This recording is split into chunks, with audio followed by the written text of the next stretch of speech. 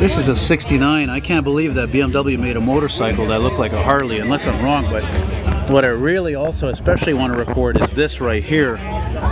This 40s Chevrolet it might be the only one I think I've ever seen that was actually bone stock. These are the type of trucks that are always modified. They're always hot rod. And Here's one here in factory original condition.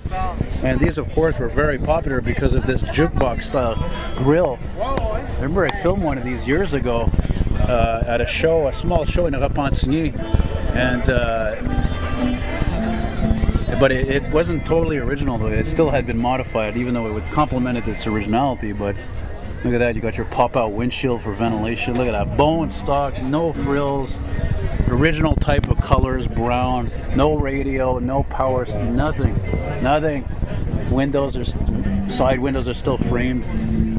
Typical dark green color. It looked like it could have been a bell truck even. Wow, that's neat. I bet you it's not easy to find a bumper for one of these, eh? Can't imagine how many of them must have got bent in like that. Oh, by the way, yeah, I'm here at uh, in Rigaud, Quebec at the uh, Rockabilly Rumble show. Yeah, so uh, it's really groovy, baby. And there's uh, it's only cars 1981 and under. But when I came here six years ago, it was actually I think like 65 and under actually.